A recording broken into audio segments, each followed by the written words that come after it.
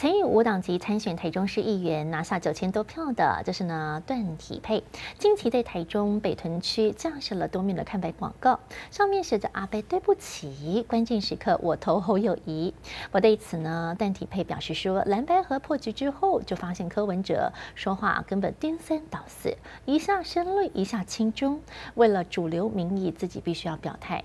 他同时呼吁年轻人一定要团结选票，下降民进党。段体配上次选议员，一半以上都是年轻人支持我。那现在总统大选快到，大家都在讨论这个议题。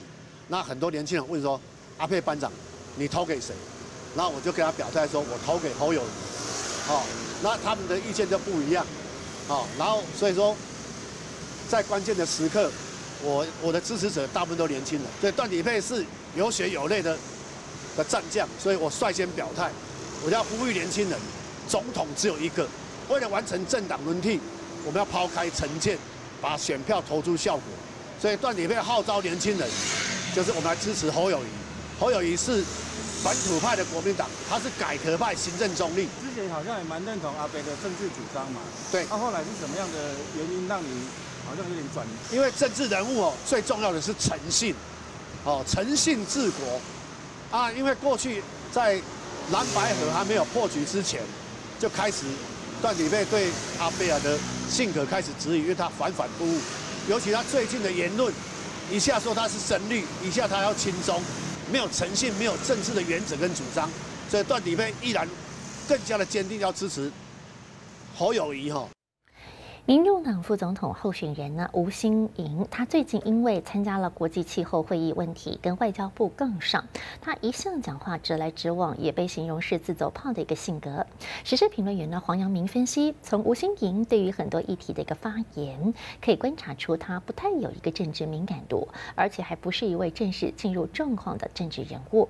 黄阳明认为，现阶段来说，吴新盈只要能够做到不让柯文哲扣分，就已经算是最好的加分。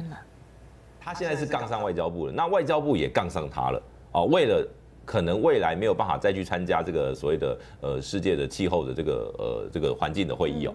那呃老实说，我觉得这凸显了民进党的矛盾，就是一方面希望呃让世界看到台湾，可是呢又要用很小媳妇的方式去经营，不要惹毛别人哦。可是呢，这不就是过去？很多的台派看不下去的中华台北模式嘛，他们不是说要什么证明什么东京奥运要证明为台湾吗？记不记得这样的事情？就现在吴欣颖感觉比民进党更冲哦。现在吴欣颖他到了那个国外的会场，他想要去这个突破所谓的外交困境，结果反而是我们的外交部谴责他。那这这个其实我觉得这整体来讲这是一个很大的题目了。但是吴欣颖的口才，我必须说他的口才真的没有那么好。不是说不是说讲话讲的不清楚那种不好，是他不适合他在很多的议题里面很容易讲到他没有那个政治敏感度了，他就是一个比较简洁，或者说把很多事情比较简化来来论述了。所以我觉得吴欣盈，嗯，我必须说他还不算是一个正式进入状况的政治人物，他还需要磨练。所以现阶段，呃，柯文哲能够把他带着，能够不扣分，就是最好的呃这个加分了。最新的连线来关心，台中市长卢秀燕假日南下高雄，指导立委基站区，陪同了国民党立委参选人市场扫街拜票。目前最新的状况，我们时间连线林博瑞。好，主播带您关心的是台中市长卢秀燕假日马不停蹄，先在台中替自家立委参选人站台，之后下午呢，紧接着来到高雄陪同立委参选人黄柏林扫街。他们来到三明区的市场的时候呢，人气红不让，摊商民众也是抢着握手。我们现在来听他稍早的最新访问。一说到做到，重视孩子啊，重视教育的一个议员，这也就是我非常乐意来给卡台的原因。我我别我我别敢卡台，我啊执政。我已经从政三十年了哈，所以以前我就配合一个议员，所以我对黄柏林家望加亲，家里要提心为伊来扫街哈，就辛苦的，但是哈，啊，我现在马是真关紧，但是我愿意花时间来陪他，就是好人仔一点爱出头，咱的台湾的教育都看黄柏林啊。卢秀燕表示呢，他跟黄柏林其实认识相当多年，那么过去几次来到高雄的时候，就有注意到黄柏林推出的科丁教育理念，所以这也是他为什么会特别南下为他站。台的原因，也认为说呢，这是有前瞻性的科技教育，应该要让黄柏林能够进到立院推动。至于黄柏林，除了誓言未来会把这些想法带到立院之外，也感谢卢秀燕能够拨控南下相挺，相信呢对于选情可以有所帮助。以上是目前现场掌握最新，再把时间镜头交还给彭内。国民党不分区立委参选人谢龙介在今天出席了严宽恒造势活动，他只挑违建的议题，说严家违建已经拆除，还被追杀跟抹黑，很酸民进党总统候选人赖清德为老家违建哭了五次，是要如何带领台湾人民？孟姜女哭倒万里长城也只哭两次而已，他更痛批赖清德违建你不用拆，就根本是双重标准。不但扭曲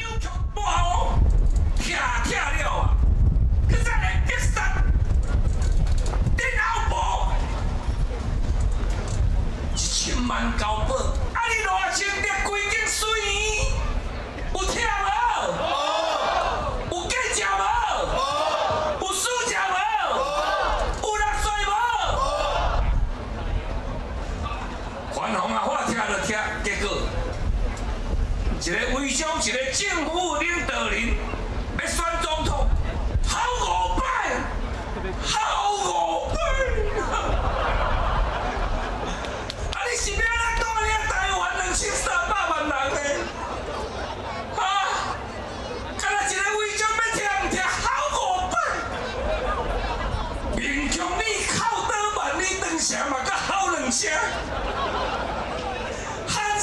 信要死嘛，甲好三声，对不对？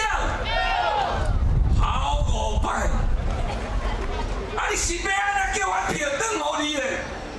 一个微商就靠五出，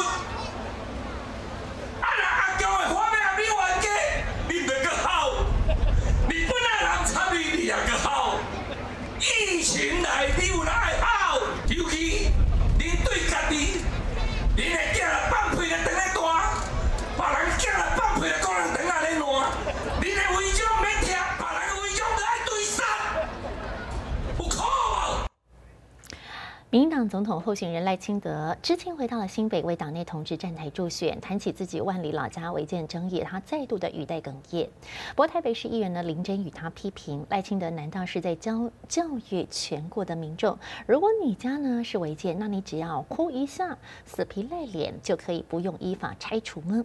而林真也提醒赖清德，违建本身其实并不是太大的问题，但是最好不要用双重标准、硬凹的方式去解释说自己的老家其实不是违建，这对人民来说认为是相当不良的示范。现在赖清德就是教育着我们台湾所有的人民，教育着所有的地方政府，你现在要怎么去面对有门牌、有缴税的状态之下，是不是现在全部的百姓都可以跟赖清德一样？我赖皮啊，我赖着不拆啊！我的爸爸妈妈很辛苦把我这边养大啊，我们家的这个铁皮屋也是我们家一家的回忆啊。请问一下，地方政府，你可以不拆吗？所以啊，赖清德啊，今天违建不是大问题，违建大家也不会对你有什么疑义，因为这个是没有办法的，这是一个历经的过程当中。但是今天台湾人民要看到的是什么？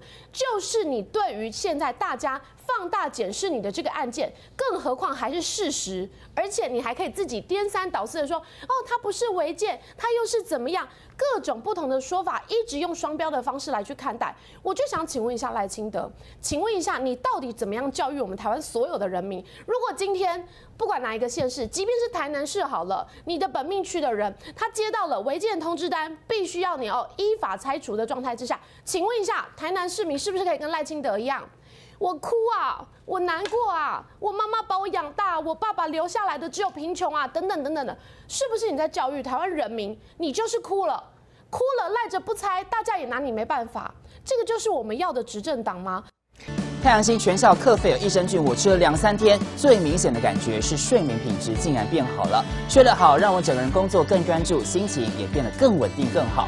因为太阳星全效克菲尔益生菌，才让我认识到克菲尔益生菌，它是由多支菌种的益生菌所组合而成，不仅能够维护消化道机能正常运作，还拥有多种有益健康的保健功能，相当强大。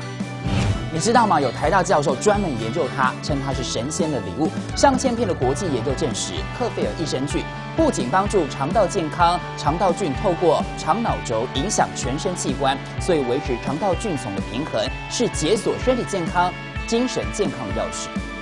对帮助睡眠、维持好情绪真的很有感，也因为这不是药，有季节敏感、代谢困扰、关心恶性细胞风险的好朋友，选择太阳星全效克菲尔益生菌，做好日常的保养，身体健康没负担。每日克菲尔时刻美好，Good Feel Feel Good，请上快点购健康下单，输入推荐代码有额外的折扣。